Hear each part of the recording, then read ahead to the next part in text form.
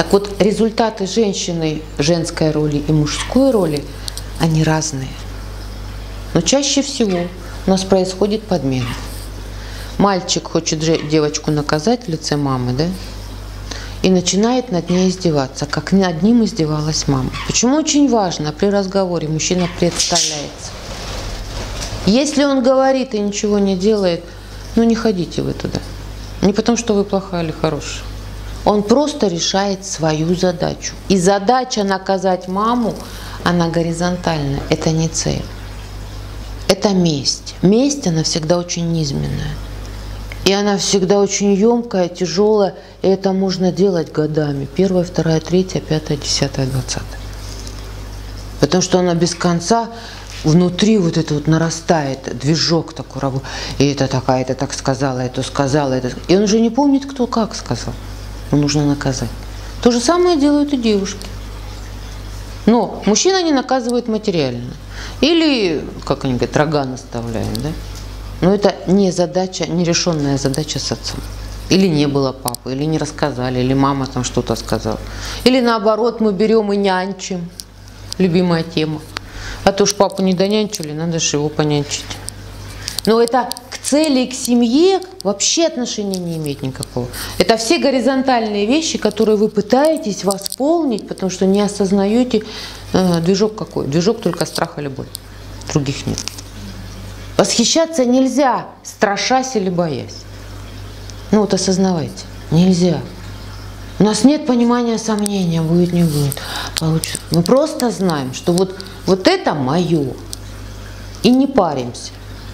Чем больше внутреннего диалога, тем больше вероятность того, что вы решаете не ту задачу, не имеющую отношения к этой высокой цели. Дальше идем. Когда складываются результаты, следующий такой подвох. Мужчина пытается это преподнести как свое достижение, а женщина пытается оттуда хоть что-нибудь взять. Так вот, когда женщина не пытается брать, то мужчине всегда становится стыдно. Она говорит, да на. Потому что роль отдающая. Кто-то видит сразу, но кому-то нужно время. Почему женщина, она мужчину как поднимает, так и опускает. Как только у мужика, потому что они общаются, у них там ну, свой контингент, там все свои там заморочки, они говорят, ты что, с ума сойти, кому ты что отдаешь? Ты что, да она, да. Она говорит, да иди. И тогда система переворачивается. Всегда. Как только она за что-то цепляется, начинает обличать, да я на тебя годы положила, да эти детей родила, все, до нуля. Женщина роль отдающая. Когда ты знаешь, что ты можешь, тебе никогда не сложно будет что-то отдать. И тогда ты будешь самая счастливая, когда ты не будешь биться на спорт, тем более при помощи чужих рук. Учись и отдавай, учись и отдавай. Как только ты это осознаешь, весь мир к твоим ногам падает. Но все сволочи, мама говорила. И надо тут заварушку сделать. Это не женщина, это маленькая девочка. Женская роль, она всегда отдающая. Всегда. Умеющая и отдающая. Потому что она знает, если я это умею, я могу и здесь отдать, и здесь отдать, и в 10 раз получу. Всегда. Это закон. Почему женщину так сейчас быстренько и опускают? Чтобы она была всю жизнь в рабынях, всю жизнь знала, что ты никто и звать тебя никак. Потому что сила, которая у женщины присутствует, она потрясающая. Она может стену раздвигать. Вот она идет, и все так тых-тых-тых-тых. А надо, чтобы ты была тело. Чтобы тебя просто имели, ты молчала. И вот эти вот все эти товарищи, которые говорят, у меня там много чего, да, ходили и за счет нее утверждались. Это называется вампиризм.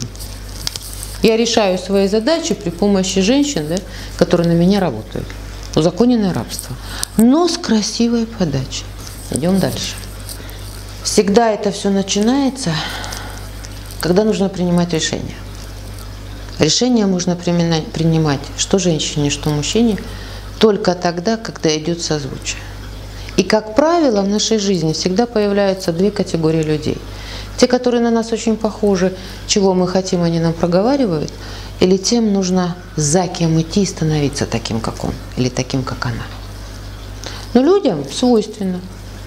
Мы всегда с удовольствием делаем то, что мы умеем, и потрясающее состояние «не хочу», когда чего-то я не, имею, не умею делать. Вот это называется внутреннее сопротивление. Женщина это не хочет делать, потому что ей неприлично выглядеть смешной. Ну как А вдруг не получится, да? А мужик, потому что он тупо прав.